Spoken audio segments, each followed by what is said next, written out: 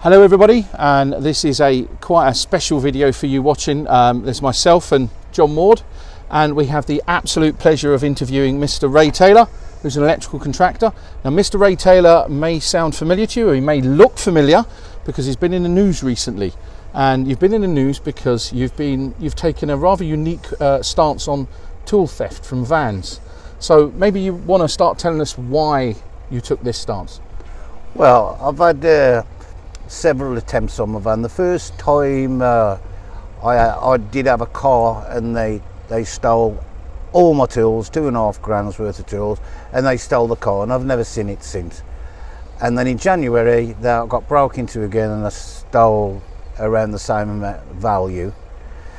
So that's the second time, so I decided to do something about it. And I designed an alarm on my van to protect all the vulnerable areas where these people, these thieves break into it. So I've kind of covered every area. But the uh, I've had three attempts this year and I've uh, three runners. All three have run off because wow. of how loud it is. But the last attempt, uh, one of them, while the alarm was going off, he actually opened the back door while the alarm was going off in a brazen fashion. And he opened the back door and stole a drill.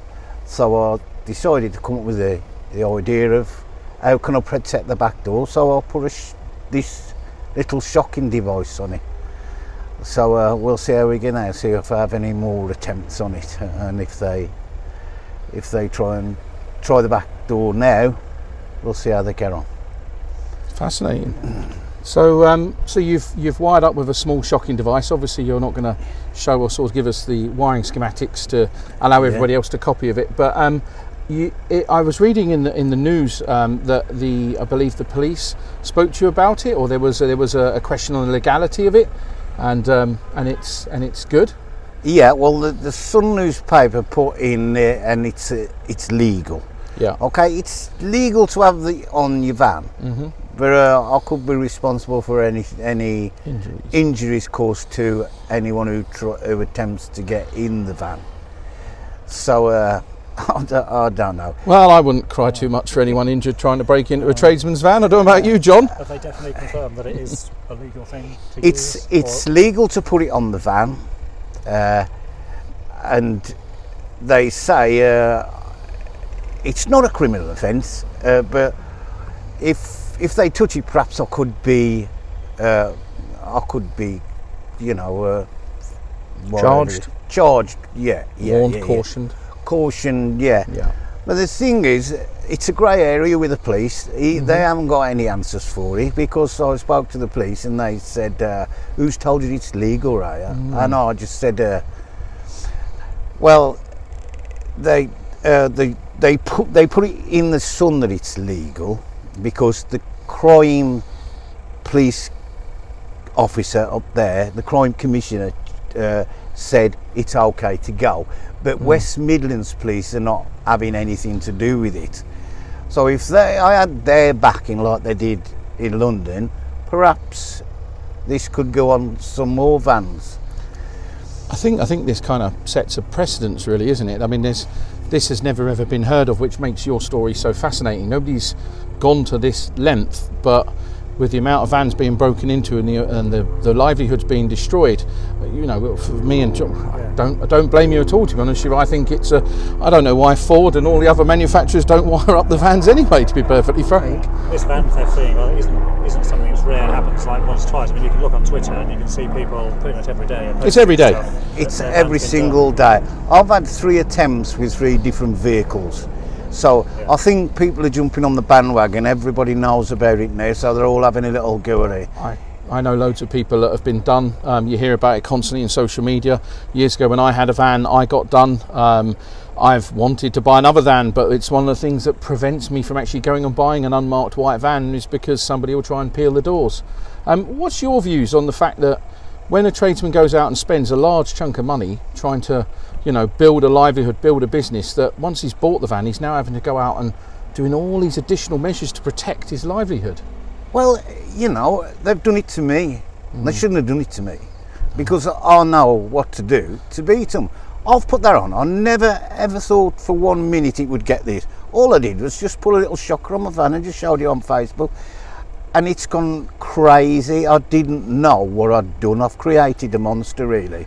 But everyone loves this monster. Do we do we give OBEs for these sorts of initiatives? Because hey, Probably if the Queen's people are watching, give this man an OBE because this is a really good, socially responsible thing, protecting your livelihood. For me, so I think it's it's not a bad thing. Although I'm standing next to your van petrified because I don't want to touch It's it. all right. It won't. It's it okay won't now. Oh, oh, sorry. Would you be able to just give us a quick peek inside, maybe, to have a look? Yeah. Brilliant, can, yeah. excellent, let's have a look. Okay. Is the alarm set? Do you want the alarm to go Yeah, off? why not?